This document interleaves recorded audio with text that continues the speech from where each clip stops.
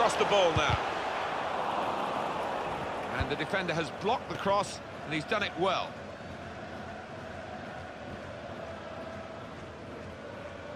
They can be quick on the break now.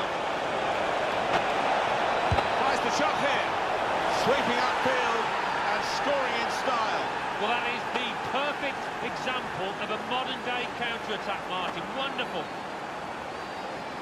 That has the form, and indeed you would think the better player.